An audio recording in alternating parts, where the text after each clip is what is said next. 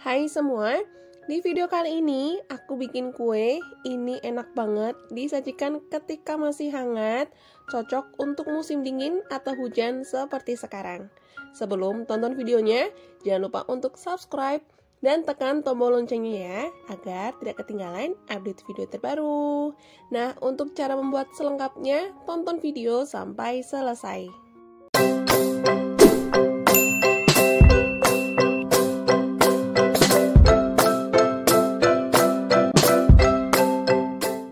Resep lengkapnya sudah aku tulis lengkap di kolom deskripsi. Langsung aja ke cara membuatnya. Langkah pertama, siapkan tepung ketan sebanyak 250 gram. Tambahkan setengah sendok teh garam. Tuang air sebanyak 240 ml. Ini dituang setengahnya dulu ya. Lalu diaduk sampai rata.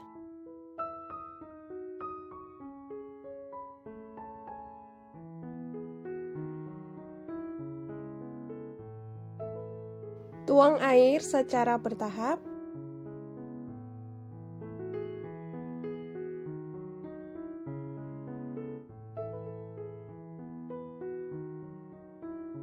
Supaya lebih mudah, ini akan aku uleni menggunakan tangan.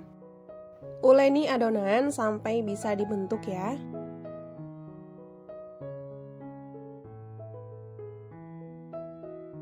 Nah, sampai adonannya kali seperti ini, kalau dirasa kurang air, bisa ditambahkan secara bertahap. Kemudian, bagi adonan menjadi empat bagian yang nantinya akan ada empat warna.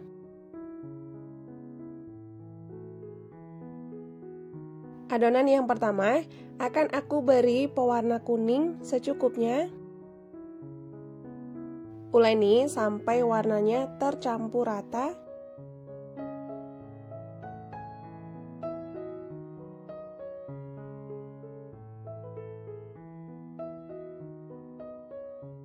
Adonan kedua, beri pewarna merah muda secukupnya.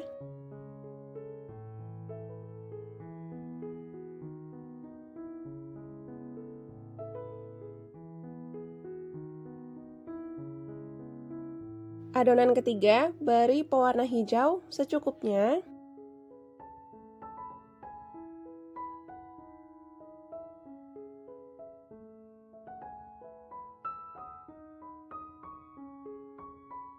Adonan terakhir, beri pewarna biru secukupnya.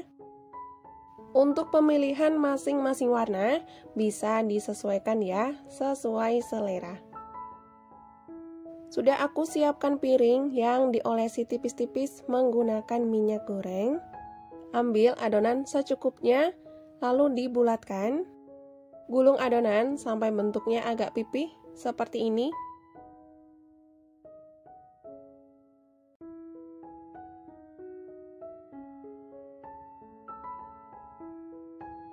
Lakukan hal yang sama sampai semua adonan selesai dibentuk.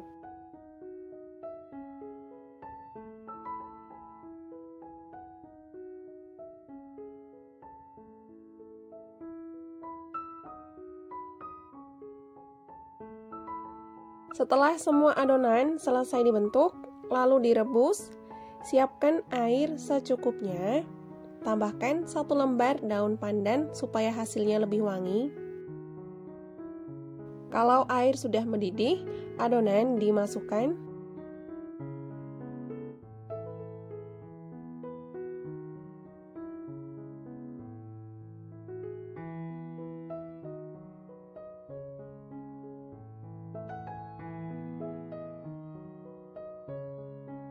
Diaduk sebentar supaya adonan tidak saling menempel.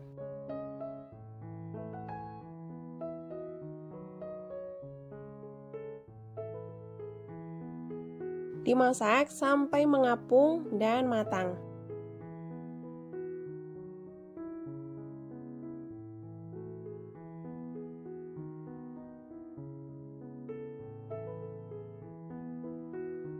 Nah, ini sudah matang. Tiriskan, lalu masukkan ke dalam air supaya tidak saling menempel.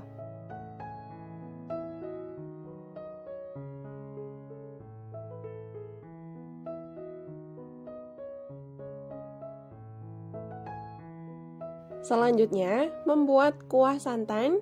Siapkan 150 gram gula pasir, 45 gram tepung beras, setengah sendok teh garam, seperempat sendok teh vanili bubuk, tuang 1 liter santan dengan kekentalan sedang,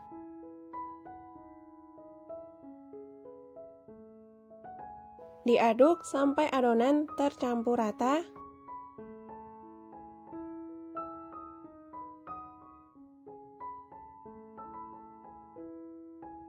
Ini sudah aku pindahkan ke tempat yang lebih besar. Kemudian tambahkan dua lembar daun pandan. Masak sampai mengental dan mendidih sambil terus diaduk-aduk ya, supaya bagian bawahnya tidak mudah gosong.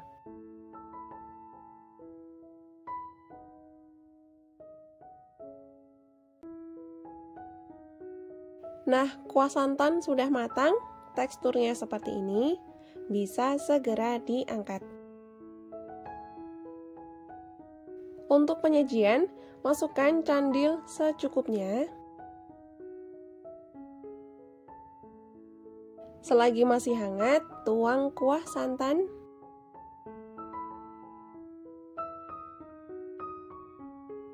Dalam satu resep bisa menghasilkan 3 sampai 4 porsi. Disajikan ketika masih hangat, ini rasanya lebih enak. Untuk candil, rasanya tawar, tapi dipadukan dengan kuah santan yang manis, jadi rasanya pas. Kalau teman-teman suka manis, bisa ditambahkan gula sesuai selera. Ini dia, katiri mandi atau candil ketan pelangi sudah jadi. Selamat mencoba ya. Semoga video ini bermanfaat. Terima kasih untuk teman-teman yang sudah menonton. Sampai jumpa di video selanjutnya.